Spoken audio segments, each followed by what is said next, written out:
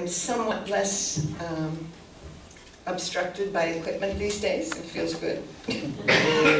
Everything still happens very slowly, though. Yeah, I'm accustomed to being able to get things done in seconds, not hours. Hi. Yes, truly a universalist crowd. Very nice. So we have these principles, you know, when, when people become Unitarians, they don't adopt a creed or a doctrine or a set of dogmas, they adopt a set of principles, an agreement of how we'll be together. And we've talked about the first and second principles. The first one, you know, reminding us that every person has dignity and worth. And the second one, reminding us that we want to treat each other with compassion and be you know, equitable in our interactions. Not necessarily the same, but equitable, right? And this third principle is taking it even one step further. It's saying we have to accept everyone as they are. And sometimes that isn't easy, right? But there's another piece to this principle that many of us overlooked, especially if we've come from a situation where we're feeling a little anti-church, and that is encourage each other's spiritual development. Now, across Unitarian Universalists, that has as many different meanings as there are people, different meanings. Everyone has a different idea of what spiritual growth and development might be. And so that makes agreeing on how we're going to help each other even more interesting. And this idea of acceptance and the possibility of spiritual development really is the essence of universalism. So those of you who've been through the membership thing with us, you know, where we do our little quick thing in, you know, on the Sunday, um, have heard me talk about how universalism is as old as Christianity. Uh, some of the first writings that we see are from a guy named Origen, no. O-R-I-G-E-N, and some people pronounce it origin, but it isn't. Anyway, origin, Oregon. And in Latin, gens means man, and ore means, is from orate, so it's the speaking man. And I've often wondered if it wasn't a pseudonym. but anyway, we have his writings, and he talks about the fact that nowhere in Jesus' teachings do we see a division of some people connecting with God and some people never, ever, ever being allowed to experience that connection. That is strange for people who grew up in a Christian environment. You know, in most Christian churches today, you know, people are told if you do not do these set of things and you do not live this particular way, you're going to spend the rest of your life separated from God in a terribly demonic, tortuous environment. And that is nowhere in the New Testament. So relax. You don't need salvation, you are salvation. Yes. So as we move with this idea, of course, as the you know, Christian empire grew, the Roman church grew, and they were holding on their particular doctrine, that one kind of got faded into the background, and nobody said it out loud too much if they didn't want to get burned at the stake. And so, you know, it, it was there, but it was kind of hidden for a lot of years. And it really wasn't until the US was formed that it began to emerge again. And it really wasn't until the 1800s that people actually began to feel free to talk about it out loud. yes, we're all going to be united in one divine entity that is present throughout the whole universe. Universalism that divinity is all that is in form, that the form is divinity, and that we are part of that form, and therefore we cannot be separated, and never will be separated, and isn't that wonderful? Now there's one version of that form of universalism that says, well you might go through a short period of time where you've got to clear out all the yuck you brought with you from your body life. And in Catholicism that's called purgatory. In other places, it's you know, called different things. And what we've learned as we've looked at near-death experiences is that there actually often is that kind of time. And my favorite version of this is in Dannion Brinkley's Saved by the Light. Now, this was a really horrid person. I mean, this was the kind of guy, this first response was to hit someone. You know, if he was upset in any way, and he was yelling at people, and he was telling them how awful they were and everything else, and then he got hit by lightning through a telephone. when he was yelling at someone. and when he came into awareness, he was in front of this grand, sparkly being, and he was being put through everything he'd ever done to anyone else. With great love, but a lot of pain. And then he was told, You're not done yet, you get to go back.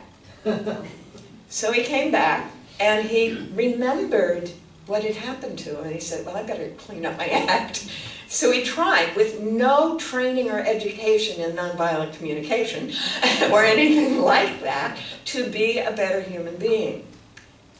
Guess what? He got struck by lightning again, this time out on a roadway, and he goes to the same place, and he has that same incredibly loving experience of a lot of pain that he'd inflicted on a lot of people, but this time it wasn't as intense. This time, the stuff that he had done recently actually ameliorated, re, you know, reduced the power of the negative experiences that he had been having. And he was told he had to come back again. The guy did it one more time. He's still on the planet. He's teaching this stuff. And I've forgotten what the third one was. I think he was in a car accident or something like that. Anyway, he's back there, but now he has actually become a teacher of you don't want to be a nasty person because this is what's going to happen to you.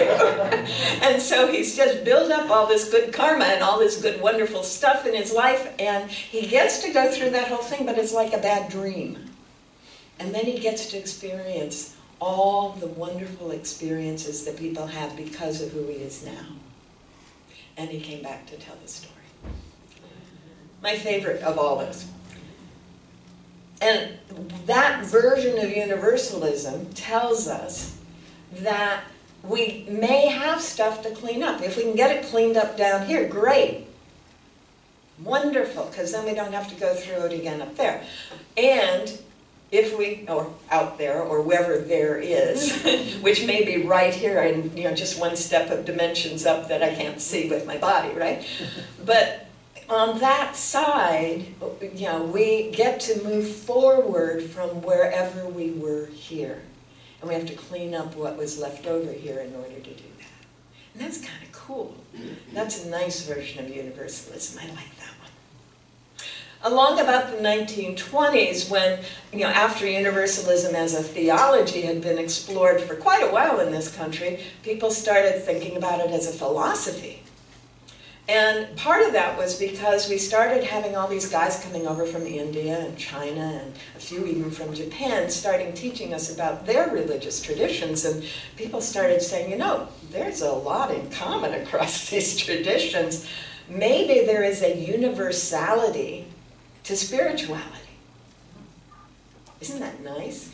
And the Hindus in particularly adopted this. And My grandmother was in India during the period that the Hindus were adopting this. So as, as her daughter likes to say, she came back more Hindu than Christian because she saw the validity of something that said, we're all headed towards something, we don't know exactly what that is, but every path gets you there sooner or later.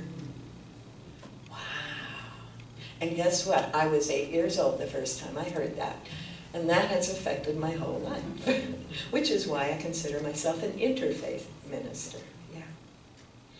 Every path gets you there. Sometimes it looks like you're going downhill. And sometimes it looks like you're up here and someone else is down here. But guess what?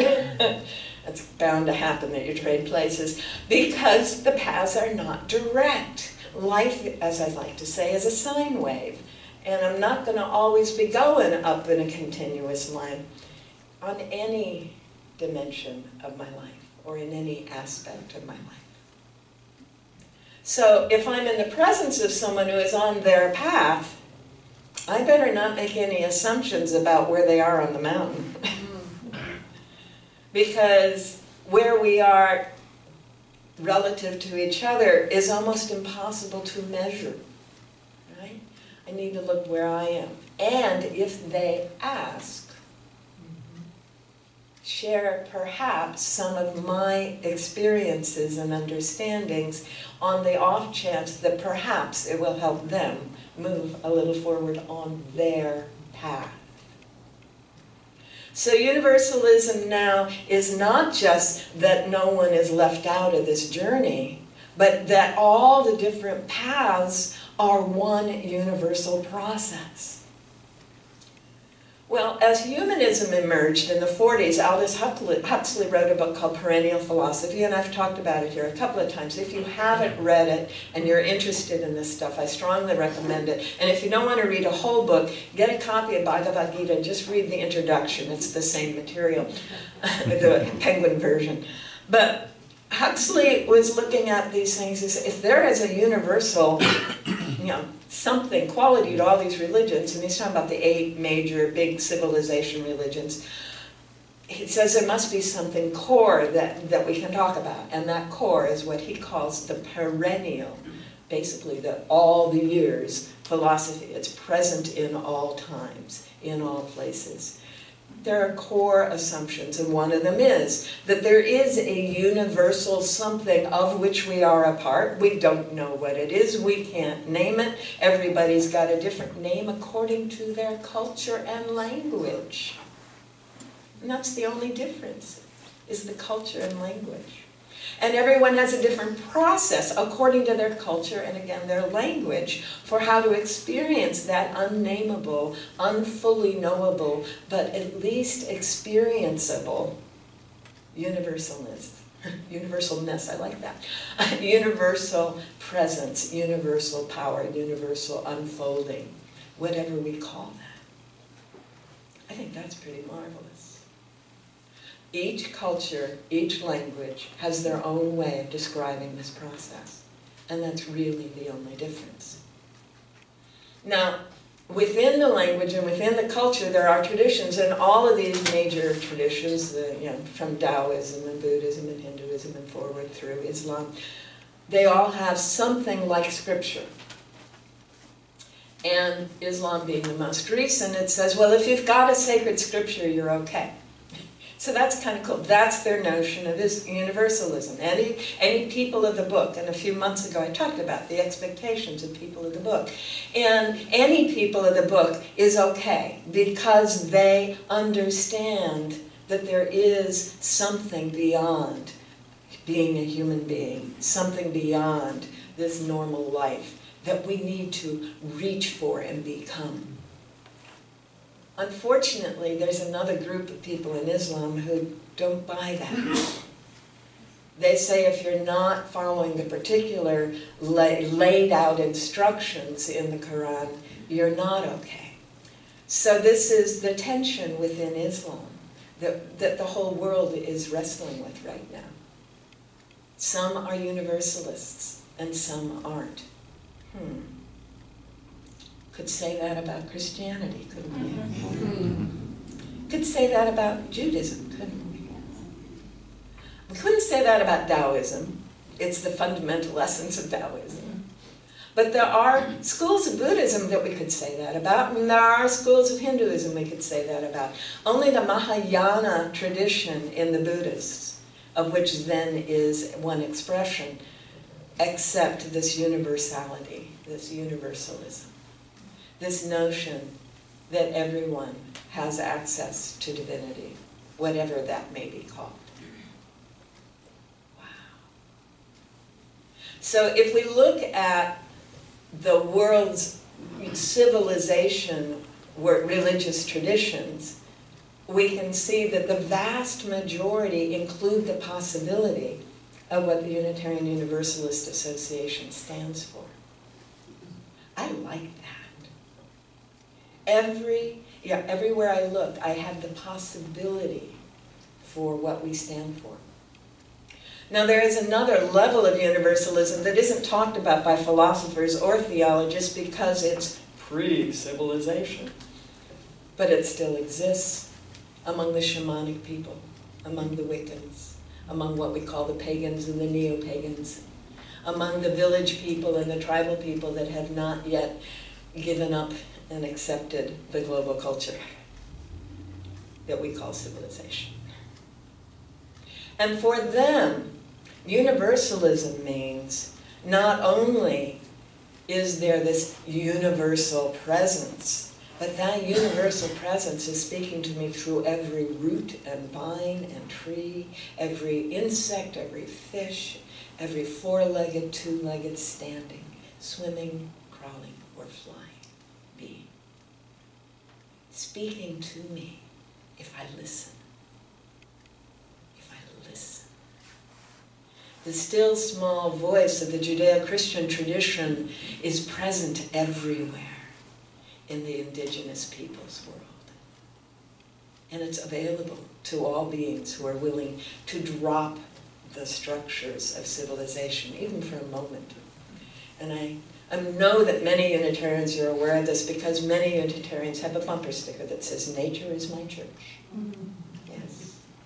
And a lot of you could not live anywhere else because you don't have access to what we have access to, right? So another mode of universalism, and technically the, the anthropologists call it animism. That is that all of beingness is animated. It all has animus, it all has soul, it all has spirit. Yes. I don't think I can do much to help someone who's on that path with their spiritual development. I think I need to listen and let them help me. Yeah to be able to feel and know the unknowable, unnameable, but ever experienceable presence in every moment, in every being. Wow. Yes.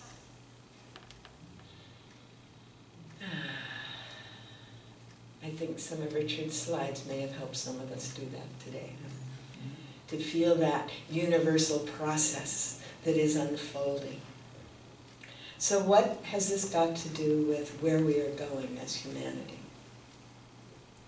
We've moved from a, from, you know, if you look at the history of humanity or the prehistory of humanity, we've moved from an understanding that universal means everything everywhere is always wise, always has intelligence, always has life, always has a soul, into a civilized notion that there is a deity or many, and humanity, and they have the soul, and nothing else has a soul. That is what civilization says. Then we went from that into humanism, we canceled the deity. and we said humanity is the universal constant, but nothing else has a soul. And then we started actually listening and watching and observing and loving some beings in our world. And it's amazing to me how often it takes having a pet for people to wake up to the possibility that a four-legged can have a soul. I grew up in the sciences, and when I was in high school, our, we had a lab, and we were part of Future Scientists of America, and we were doing all kinds of experiments, and one gal was over here working with uh, frogs, and a guy over here was working with mice, and it was this big deal, and I'm going, I don't want to do that. and I didn't really register. It was because I didn't want to participate in doing anything destructive to a being with a soul. I didn't even register that's what it was. I just knew that was not my science. and they might get great results as a result. I went off and studied fungal hyphae in the forest. So if we can begin to, and talk about that, I mean, standing people, right? The standing people, the tree are talking to each other through that very fungal hyphae. That's very cool. Anyway, so if we understand that we've gone through this progress as humanity, from knowing it's always everywhere present and that anything that shows up in my life is speaking to me and showing me where I am needing to be, that is my spiritual development, right? Into this, no, you can only talk to one being, and frankly, there's only one person who can talk to that. being. So you have to talk to the person who talks to the being, right? So that's civilization for 6,000 years. until the last 50 years. Literally 55. 55 years. And all of a sudden, humanity is waking up to the realization that cannot be the case. There is no way we can survive on this planet if we continue to hold that. so in the 1960s, the Unitarians, who were absolutely convinced there was only one divinity present in all things, and the Universalists say, yes, present everywhere, and everyone gets access to that at all stages of development, including after passing, passing on in or out of the body, we are a part of it. We got together, we formed this association, and proceeded to totally forget it. For the first 30 years of the Unitarian Universalist Association, it was a humanist organization which the J word, the G word were not allowed to be said in most of the churches and fellowships. And then about 15 years ago, the association woke up and said, wait a minute, our people are getting ahead of us. we, need to we need to be talking about this other stuff. And so that began to happen within Unitarian Universalism, and this third principle, not just to accept each other, but to encourage our spiritual growth and development, began to become a part of what this organization is about. And it has been a delight. And it's been a wonderful thing for me in this particular community because you not only grasp that, you are it. This community, I think why it feels like home for so many of us is, oh wow, I can drop the dogma, I can drop the doctrine, I can explore, I can discover, and I can be accepted in that process. Wow. Congratulations. So the next step in the development of humanity is more of that. And this is what I am seeing when I look around the world. Part of why I went traveling over the last year was to see if this was in place in other places. And also it's what I'm seeing as I do my research around activities and organizations and who's doing what and who's teaching what and whatever. And it, it's coming in all different ways, of course, because there's as many paths as there are people, right? But you can see it if you just scan YouTube. And scan YouTube for any spiritual idea or principle, you will see dozens of YouTubes on that subject as different people of different ages come to understand it and share their experience. Just on YouTube. Yeah? I love YouTube. it has done more to democratize humanity than anything out there right now. It has done more to expand our access to knowledge than anything that exists or ever has existed. It is the equivalent of the Gutenberg press. Mm-hmm. Yeah, it is amazing. So if that is the possible direction for humanity, of course there's always multiple scenarios and you know we have many probabilities and you know right now about 50-50 about the US becoming you know something else entirely. But right now we actually have a 30% opportunity for the whole of humanity to step into this universalist understanding, to become what we find when we're here. 30% for all of humanity. That's a pretty impressive probability. And it won't take much to tip it, especially if Rupert Sheldrake's theory of morphic resonance is accurate. And so far, every test of it has been right on. And that is, anyone anywhere who is thinking like you are right now is now enhanced in their understanding of universalism because we just had this conversation. Well, this lecture. but it felt like a conversation. That's how morphic resonance works. Every time we move into our own spiritual development, we are literally encouraging, we are making it easier for people of like minds or hearts, even if their minds aren't quite lined up yet, to move in that direction. Yippee. And that, I would suggest, is a future worth living for. Thank you very much.